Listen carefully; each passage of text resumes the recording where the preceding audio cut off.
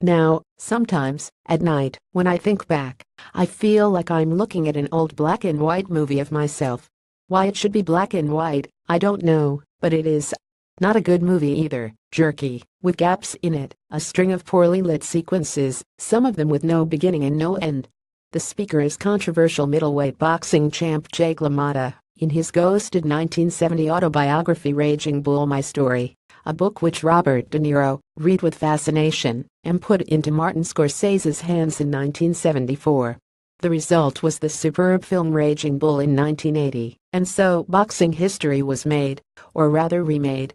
LaMotta had been a figure from the rackety underworld of the sport. He won the world middleweight title against the French fighter Marcel Cerdan in 1949, but had it taken away from him in a brutal bout with Sugar Ray Robinson in 1951, during which LaMotta was never knocked down, a fact which he insisted on as a kind of poignant victory of sorts. Scorsese brilliantly amplified LaMotta's operatic self-pity and defiance. Photograph Alamy stock photo LaMotta's shady reputation clouded his achievement. He was always notorious for a brawling, bullying style in the ring, combined with a fanatical granite's cult ability to absorb punishment, very different from the will drop it strategy of Ali. There were continuous rumors, which LaMotta could hardly deny, that he took money to throw fights. After his boxing career, he became a C-lister celeb with walk-ins on TV and the movies, and was actually arrested and briefly imprisoned for introducing men to underage girls at his club in Miami. In his later years, his broad, battered face looked like a shovel with a cheeky grin.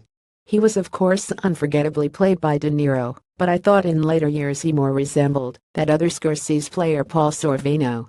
Or maybe Tony Sirico, who played Paulie Walnuts in The Sopranos.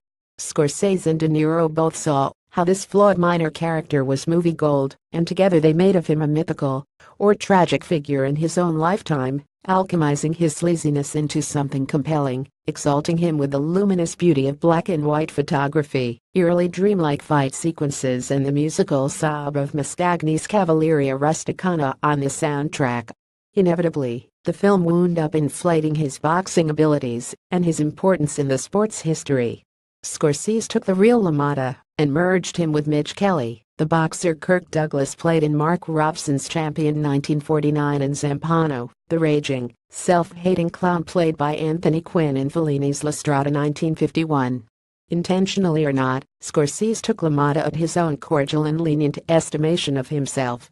He effectively downplayed his corruption, taking a dive for the short end money, to quote the On the Waterfront speech which De Niro's LaMotta is shown blankly running through for his nightclub turn, and the impact of his arrest. But LaMotta's mythic properties were always there in that 1970 autobiography it was guest written for him by Pete Savage, an actor and movie director who had himself had bit parts in Taxi Driver New York, New York and Raging Bull, and who had actually cast LaMotta in some of his own films, it was surely Savage who had written those lines about LaMotta's life as a badly made black and white movie. Savage's co-writer was Joseph Carter, a journalist and art historian who, intriguingly, had published a study of Italian Renaissance painting. Savage and Carter were responsible for the LaMotta pre-myth. Movie immortality, Martin Scorsese, left, and Robert De Niro on the set of Raging Bull.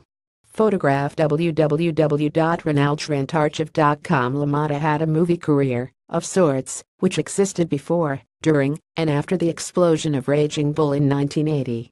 He had a tiny role as a bartender in Robert Rossen's The Hustler with Paul Newman, but Savage gave him a leading role in his WW2 movie The Runaways 1965 with LaMotta as one of the GIs who go AWOL in Italy.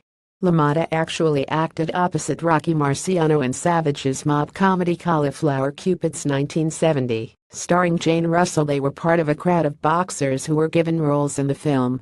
And there were other miscellaneous bit parts, including a Walken in Mario Van Peebles' New Jack City 1991. But although he had a kind of effrontery and showbiz pizzazz, LaMotta was not a great actor. He didn't need to be. De Niro had conferred movie immortality on him, turning him into a quasi-fictional figure and placing LaMotta in a kind of crepuscular, one-man Valhalla of boxing the anti-hero of one of the greatest films in post-war cinema history.